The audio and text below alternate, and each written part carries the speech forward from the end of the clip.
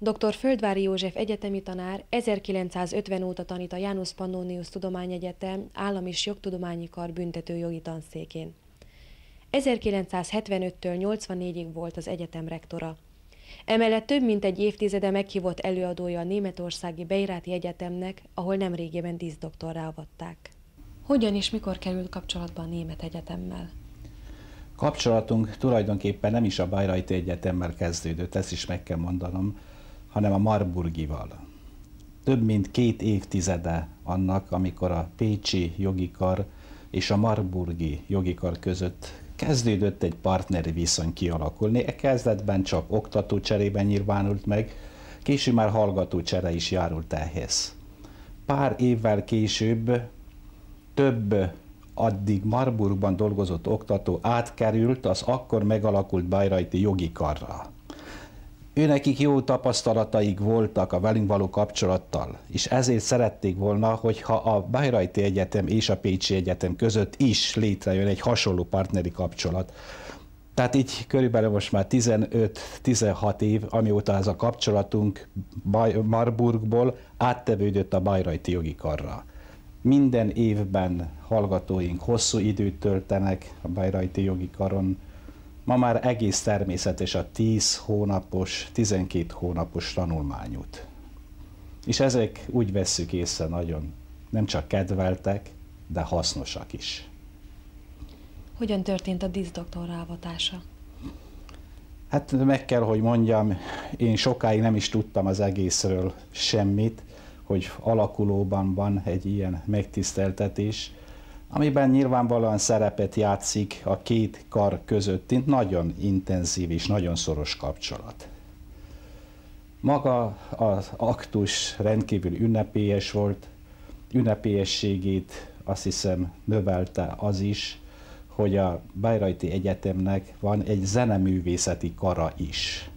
És ennek a karnak a hallgatói egy nagyon nívós kultúrműsort, zene számokat, énekszámokat is adtak elő.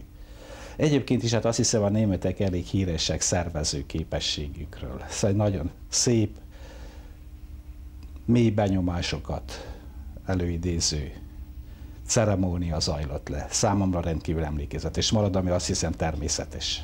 Van-e különbség a hazai és az ottani hallgatói felkészültség, illetve hallgatói attitűd között? Én érzékelek némi különbséget, meg kell, hogy mondjam. Nem a mi javunkra, sajnos. Én úgy érzékelem, hogy a kinti hallgatóságban nagyobb az aránya azoknak, akik el akarnak érni valamit. Látszik, hogy az a társadalom már régebb idő óta teljesítményelven épül föl, ott számít, hogy mit produkál valaki. Nálunk még nem terjedt el nagy arányokban ez a törekvés, ez a felfogás, ott például hát gyakran tartottam előadásokat, utána vita zajlott le. Ezek a viták mindig a lényeges kérdések körül zajlottak, és elárulták a hallgatók érdeklődését. Szóval nem kitalált, kiizzadt kérdéseket tettek föl, hanem olyanokat, amelyekből egyértelműen lehetett következtetni arra, hogy őket érdekli és ez arra az időre vonatkozik, amikor még úgynevezett szocialista büntetőjogot műveltünk, de érdekelték a megoldások őket, hogy különböző országokban azonos problémákat netán hogyan próbáltak megoldani, kezelni. És mi lehet az oka annak, hogy nálunk nem ez van? Nálunk még nem terjedt el annyira, hogy attól függ a jövőm, mit produkálok. Ma akármilyen módon, ha egyszer elvégzi az egyetemet, meg fogja kapni az állását és nem attól függően kap jobb beosztást, jobb helyet, jobb munkakörülményeket és jobb fizetést, hogyha jobb a tanulmányi eredménye.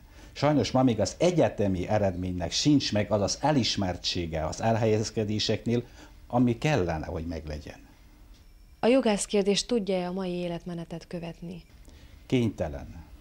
Kénytelen elsősorban a gyakorlat követni, Gyakorlat viszont akkor követheti, hogyha kap mankókat az elmélettől. Segítségre szorul. Sajnos többet várnak az emberek a jogtól, mint amire az képes. Meg kell, hogy mondjam. Általában a társadalom túlértékeli a jog szerepét. kérem tessék megnézni, újságokban olvassuk, ha valahol felmerül egy probléma, azonnal joghézagról beszélnek, és arról, hogy új jogszabályt kell alkotni. Pedig soha nem alkottak annyi jogszabályt, mint éppen napjainkban. És ez sajnos vonatkozik a büntető jogra is, ami végképp nagyon szomorú dolog. Szomorú az, ha az emberek a büntető jogtól várják, hogy megoldja azokat a problémákat, amelyeket nem tudott megoldani sem a nevelés, a családi, az iskolai, a munkahelyi ráhatás például, amit nem tudnak megoldani gazdasági eszközökkel a gazdasági életben, akkor azt hiszik, hogy majd a büntetőjog erre képes lesz. Sajnos ki kellene az embereket ábrándítani ebből a túlzott bizalomból, és elfogadtatni még azt is, hogy nem csak, hogy ilyen problémákat nem tud megoldani a büntetőjog, még a bűnözés helyzetén sem javít önmagában. Ez is az emberek olyan furcsának találják, hogy hogy, hogy nem a büntetőjog nem azért van, hogy a bűnözés helyzetét elfogadhatóvá tegye, de azért van, hogy segítsen ebben. Csak nem tud megoldani olyan problémákat, amelyek nem jogi problémák. A bűnözés nem jogi probléma, az társadalmi probléma. Tudomásul kell egyszer venni. Milyen mértékben változik a büntetőjog? Változik. Sajnos gyakran változik, mert hiszen 1978-ban került megalkotásra a ma hatályos BTK-nk, és azóta bizony szinte két évenként, de három évenként biztos lényeges módosítások történtek rajta. Tanár úr kilenc évig volt az egyetemen rektor. Utólag az idő igazolta-e akkori döntéseit? Hát kérem szépen, őszintén meg kell mondanom, volt, van, amit igazolt, talán van, amit nem helyesen csináltam. Egyébként nehéz értékelni, mert más körülmények között kellett akkor dolgozni, mások voltak a feltételek, mint most. Ebből a kilenc évből én nagyon kellemesen emlékszem vissza 6-7 esztendőre, amikor lehetőségünk volt az egyetem fejlesztésére. Inkább, mint napjainkban például.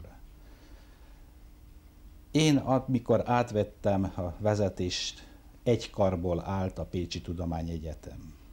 Az Állam és Jogtudományi Karból. Most mondhatnám azt is nosztalgiával, hogy az volt a legszebb idő.